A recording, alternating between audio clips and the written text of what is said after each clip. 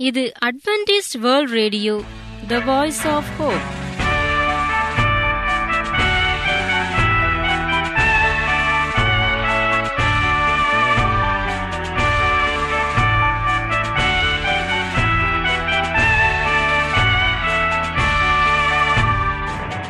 வணக்கம் வானொலி நேயர்களே. ஆண்டவராகிய இயேசு கிறிஸ்துவின் இனிய நாமத்தில் உங்களை வாழ்த்தி எங்களது ஒலிபரப்பை கேட்க அன்புடன் வரவேற்கிறோம். வாழ்க்கைக்கு வழிகாட்டும் எங்கள் ஒலிபரப்பில் இன்று இடம்பெறவிருக்கும் நிகழ்ச்சிகள். சிறுவர்களுக்கான கதை ஆன்மீக நலத்திற்கான தேவ செய்தி மற்றும் காதற்கினிய கீதங்கள். இன்றைய நிகழ்ச்சிகள் அனைத்தையும் கேட்டு பயனடைய அன்புடன் அழைக்கிறோம். குட்டீஸ் எல்லாம் கதை கேட்க ஆயத்தமா இருக்கீங்களா? அதுக்கு முன்னாடி ஒரு இனிய பாடல் உங்களுக்காகவே வந்துட்டு இருக்கு.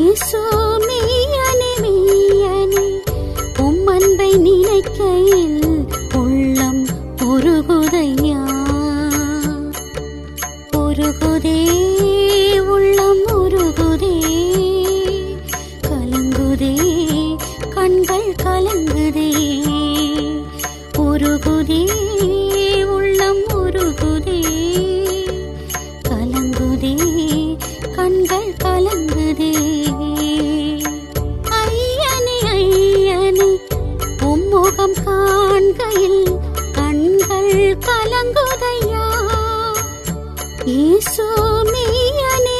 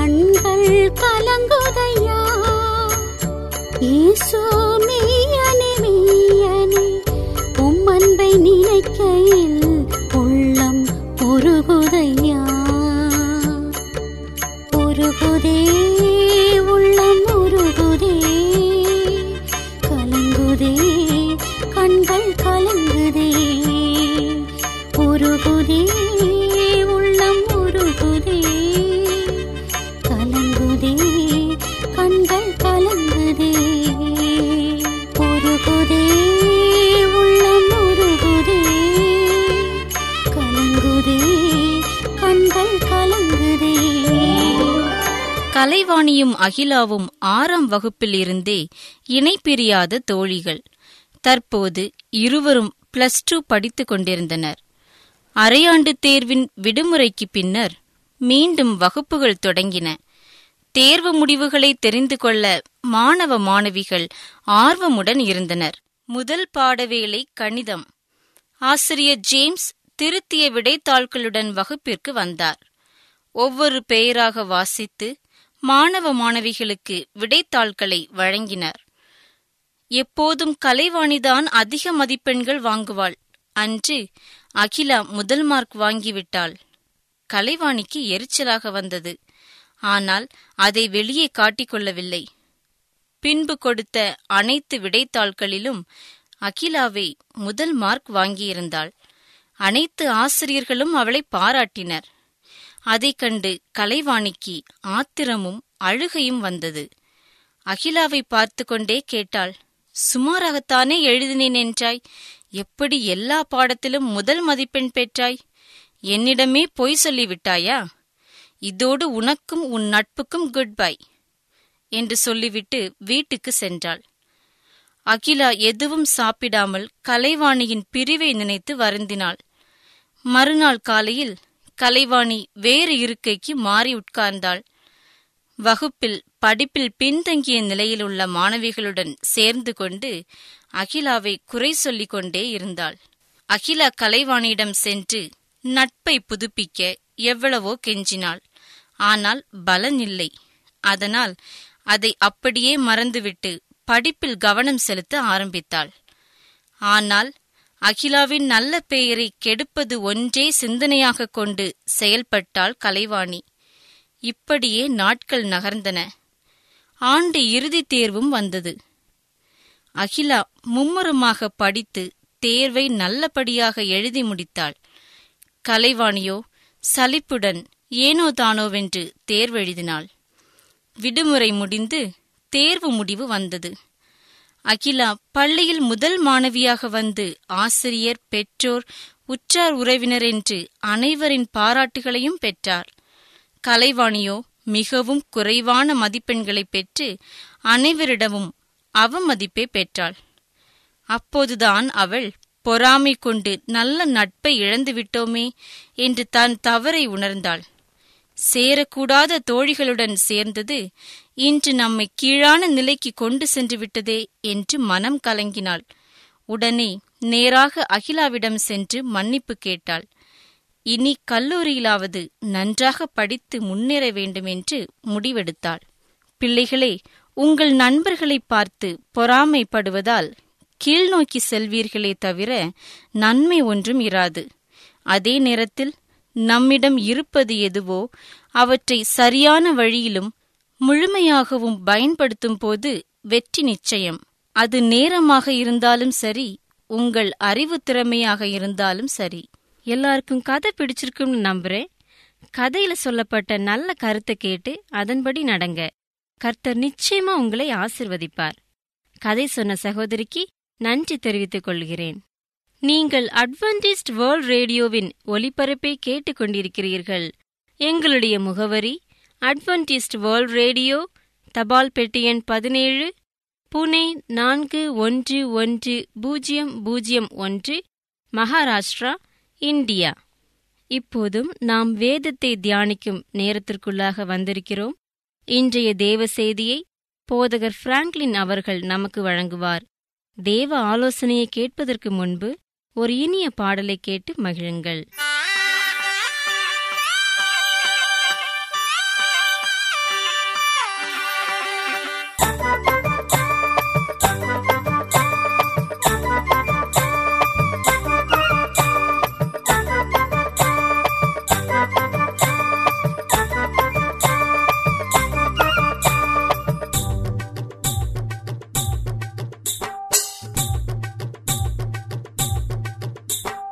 இயேசு என்று சொன்னாலே ஆசை வரும் தன்னாலே உள்ளம் பொங்கும் தன்னாலே.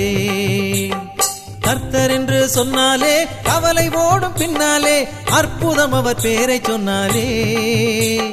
அற்புதம் அவர் பேரை சொன்னாலே.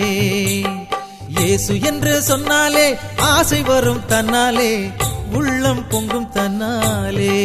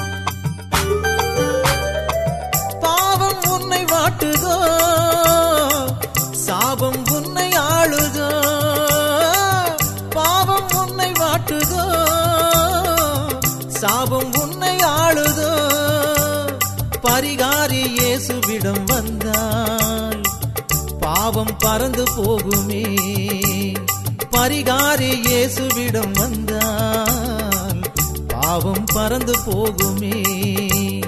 இயேசு என்று சொன்னாலே ஆசை வரும் தன்னாலே உள்ளம் பொங்கும் தன்னாலே. கர்த்தர் என்று சொன்னாலே கவலை ஓடும் பின்னாலே அற்புதம் அவர் பேரை சொன்னாலே. அற்புதம் அவர் பேரை சொன்னாலே. இயேசு என்று சொன்னாலே ஆசை வரும் தன்னாலே உள்ளம் பொங்கும் தன்னாலே.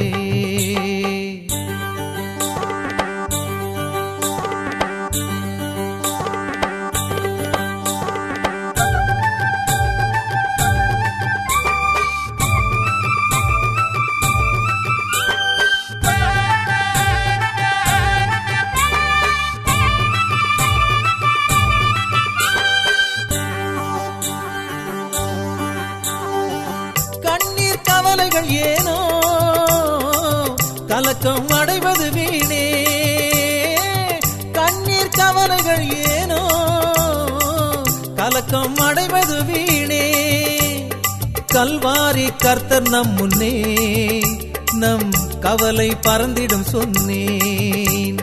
கல்வாரி கர்த்தர் நம் முன்னே நம் கவலை பறந்திடும் சொன்னேன். இயேசு என்று சொன்னாலே ஆசை வரும் தன்னாலே உள்ளம் பொங்கும் தன்னாலே. கர்த்தர் என்று சொன்னாலே கவலை ஓடும் பின்னாலே அற்புதம் அவர் பேரை சொன்னாலே. அற்புதம் அவர் பேரை சொன்னாலே. இயேசு என்று சொன்னாலே ஆசை வரும் தன்னாலே உள்ளம் பொங்கும் தன்னாலே.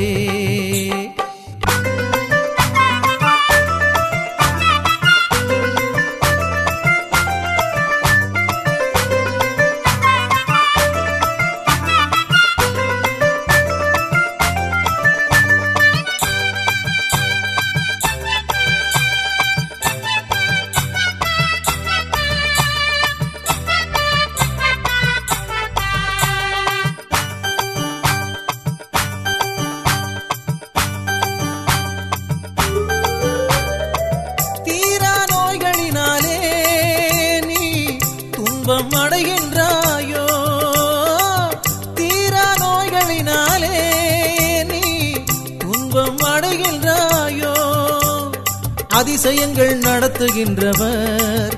இயேசு உன்னருகில் வந்திருக்கின்றார். அதிசயங்கள் நடத்துகின்றவர். இயேசு உன்னருகில் வந்திருக்கின்றார். இயேசு என்று சொன்னாலே ஆசை வரும் தன்னாலே உள்ளம் பொங்கும் தன்னாலே. கர்த்தர் என்று சொன்னாலே கவலை ஓடும் பின்னாலே அற்புதம் அவர் பேரை சொன்னாலே. அற்புதம் அவர் பேரை சொன்னாலே. இயேசு என்று சொன்னாலே ஆசை வரும் தன்னாலே உள்ளம் பொங்கும் தன்னாலே. இயேசு என்று சொன்னாலே ஆசை வரும் தன்னாலே உள்ளம் பொங்கும் தன்னாலே. உள்ளம் பொங்கும் தன்னாலே. உள்ளம் பொங்கும் தன்னாலே. கர்த்தருக்கு அன்பான வானொலி நேயர்களே மீண்டுமாக இந்த வேளையிலே உங்கள் ஒவ்வொருவரையும் அட்வென்த் உலக தமிழ் வானொலி ஒளிபரப்பின் மூலமாக சந்தித்து தேவ வார்த்தையை பகிர்ந்து கொள்வதில் மிகுந்த மகிழ்ச்சி அடைகிறேன். இந்த ஒளிபரப்பை கேட்டுக்கொண்டிருக்கும் உங்கள் ஒவ்வொருவரையும் கர்த்தர்தாமே ஆசீர்வதிப்பாராக. அன்பு நேயர்களே இன்றைய தேவ செய்திக்குள்ளாக கடந்து செல்வோம். இன்றைய தியானத்திலே தாவீது என்னும் தேவ மனிதனை குறித்து ஆண்டவருடைய சிநேகிதனை குறித்து நாம் தியானிக்கும்படியாய் இருக்கிறோம். தாவீது ராஜா முரண்பாடுகள் உள்ள ஒருவராக காணப்பட்டாலும் ஒரு செயல் வீரராக சங்கீதக்காரராக அன்பு நெஞ்சம் கொண்டவராக விசால மனதுடைய எதிரியாக கண்டிப்பான நியாயம் விசாரிக்கிறவராக உண்மையுள்ள நண்பனாக எதிரிகளை போர்க்களத்தில் துவம்சம் செய்கிறவராக ராஜாவாக இயேசு பிறந்த சந்ததியின் முற்பிதாவாக அவர் சாதித்தவைகள் ஏராளம் ஏராளம். சுரக்குமாக கூறினால் பழைய ஏற்பாட்டின் காலத்தில் வாழ்ந்த தலைசிறந்த ஒரு தேவ மனிதர் என்றும் கூறலாம்.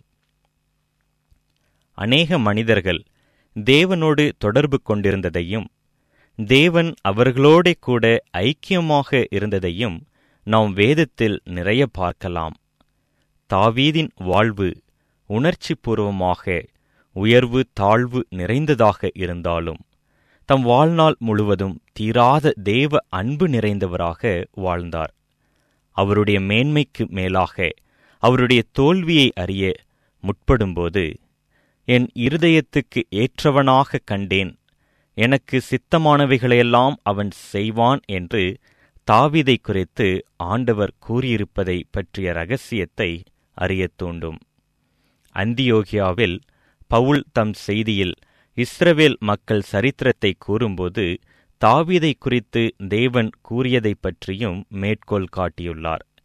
என் இருதயத்துக்கு ஏற்றவன் என்ற இந்த அழகிய புகழுரை இன்றைக்கு வாழும் இயேசு கிறிஸ்துவின் எல்லா சீடர்களுக்கும் சொந்தமாக்கப்பட வேண்டும்.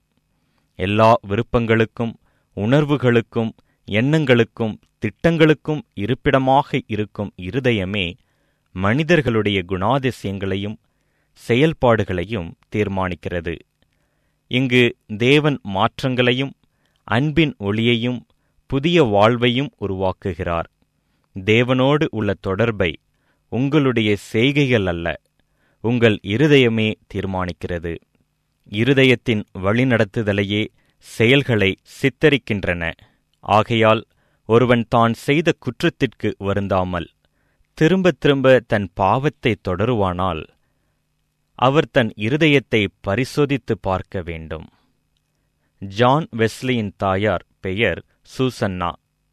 தேவனிடம் வார்த்தைகளை படித்து அதன்படி தேவனிடத்தில் நெருங்கி வாழ்ந்த அவர்களிடம் ஜான் வெஸ்லி ஒருமுறை ஒரு கேள்வியை கேட்டார். பாவம் என்ற சொல்லின் வரையறை என்ன என்று கேட்டார்.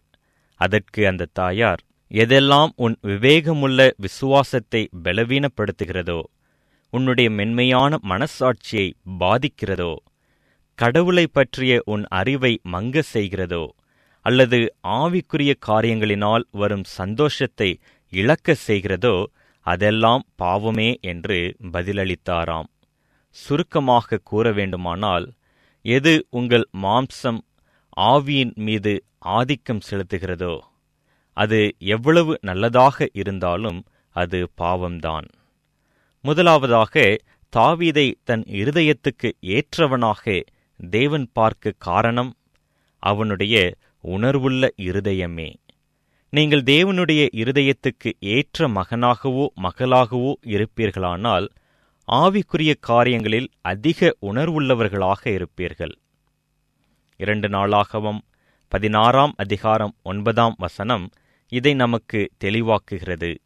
தம்மை பற்றி உத்தம இருதயத்தோடு இருக்கிறவர்களுக்கு தம்முடைய வல்லமையை விளங்கப் பண்ணும்படி கர்த்தருடைய கண்கள் பூமியெங்கும் உலாவிக் கொண்டிருக்கிறது.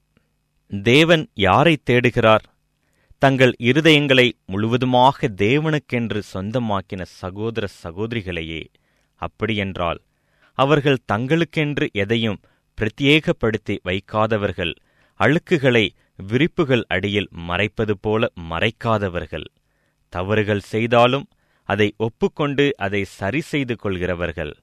தங்கள் செயல்களுக்குப் பின்னால் மறைந்துள்ள நோக்கங்களில் சரியாக இருந்து தங்களின் எல்லா செயல்களாலும் அவரை பிரியப்படுத்த நினைப்பவர்கள். தேவன் மனிதர்களில் மிக சிறப்பு வாய்ந்த மாதிரிகளை தேடவில்லை.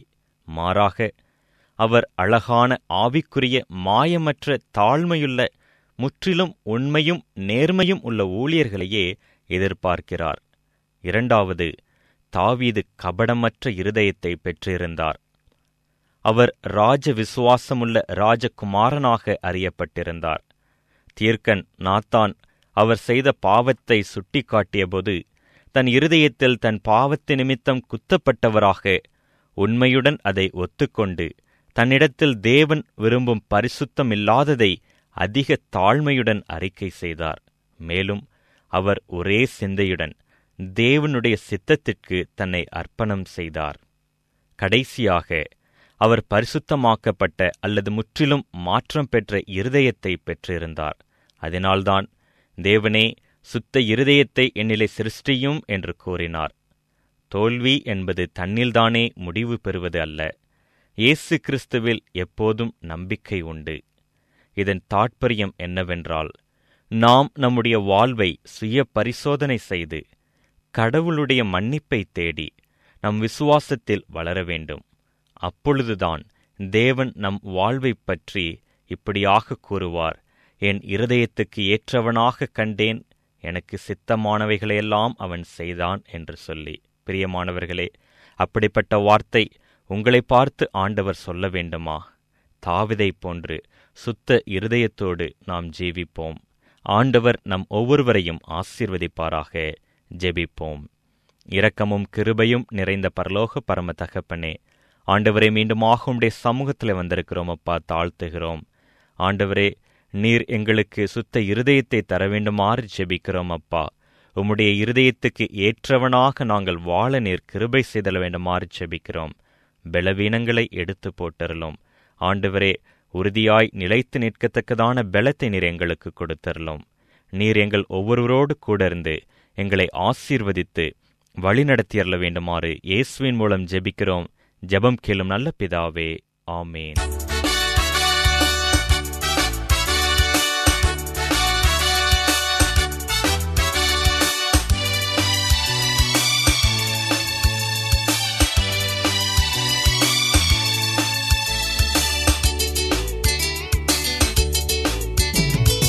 கோகுலும் சீலாவும் பாடியது பாட்டு பாட்டு அது பாட்டு. கேட்டு தலையாட்டு. பாட்டு அது பாட்டு. கேட்டு தலையாட்டு.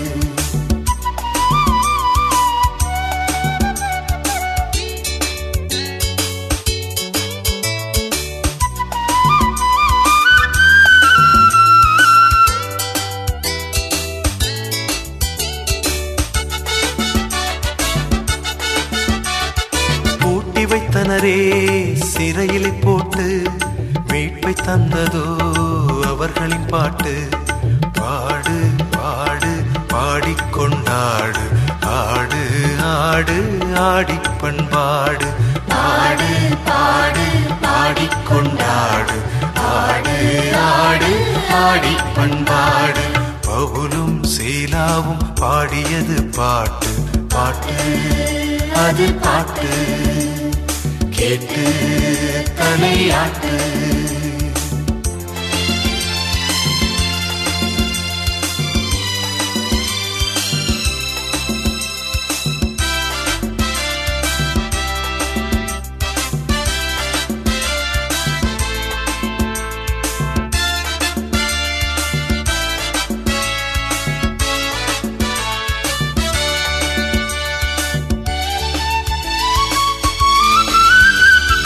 கானம் கேட்பதால் கதவு திறவாதோ? கட்டுகள் எல்லாம் கழன்று போகாதோ? பாடு பாடு கானம் ஒன்று பாடு. பாடுகள் எல்லாம் பறந்தோடும் பாடு. பாடு பாடு கானம் ஒன்று பாடு.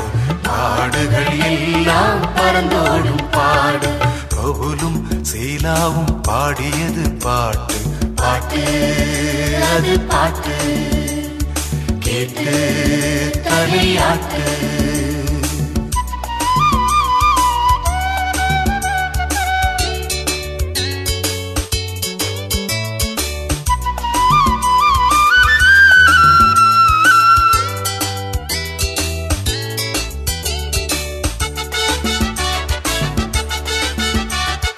விசுவாசமே அது பொங்கி பெருகுமே. பாக்கள் பாடினால் அன்பு நீ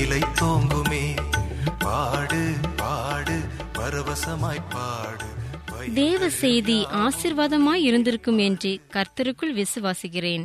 எங்களுடைய இன்றைய ஒளிபரப்பினை கேட்டதினால் நீங்கள் பெற்ற நன்மைகளை அறிய நாங்கள் ஆவலாக இருக்கிறோம். எங்கள் முகவரிக்கு எழுதும்படி உங்களை அன்புடன் கேட்டுக்கொள்கிறோம். எங்களது முகவரி அட்வென்டிஸ்ட் வேர்ல்ட் ரேடியோ தபால் பெட்டி எண் பதினேழு புனே நான்கு ஒன்று ஒன்று பூஜ்ஜியம் பூஜ்ஜியம் ஒன்று மகாராஷ்டிரா இந்தியா. இத்துடன் இன்றைய ஒலிபரப்பு நிறைவு பெறுகிறது. நாளைய தினம் இதே அலைவரிசையில் அரை மணி நேரம் முன்னதாக சந்திப்போம். கர்த்தர் தம்முடைய முகத்தை உங்கள் மேல் பிரசன்னமாக்கி உங்களுக்கு சமாதானம் கட்டளையிட கடவர். உங்களிடம் இருந்து விடைபெறுவது ஜெமிலா பிராங்க்லின்.